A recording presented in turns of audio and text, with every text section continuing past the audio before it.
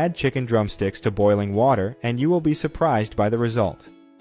Start by adding 1 liter of water in a skillet over medium to low heat.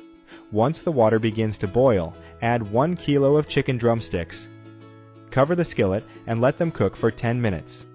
After this time has passed, add 1 teaspoon of salt, a pinch of black pepper, 1 teaspoon of sweet paprika.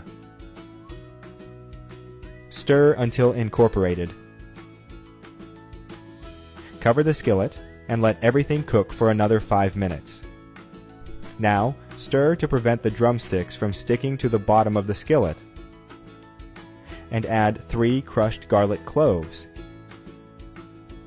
50 milliliters of soy sauce, and stir until the sauce has reduced. Take this time to share this video and write in the comment section the name of the city from which you're watching it, and we'll make sure to leave a heart especially for you. Oh, and thanks for sharing this video.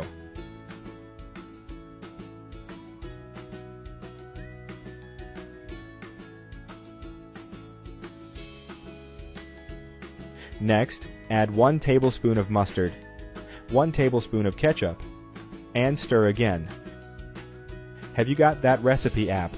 It's already available for download. With this app, you'll have access to all our recipes in the palm of your hands, and you'll get notified every time we upload a new recipe.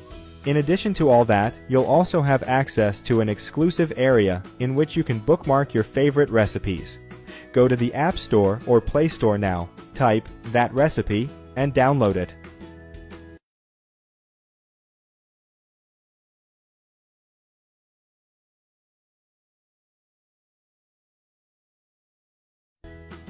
This is the right point.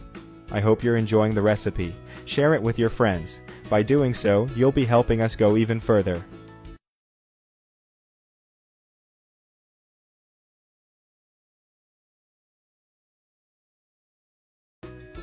Add chives to taste. That recipe is ready. You may now serve and enjoy it. I hope you liked this recipe.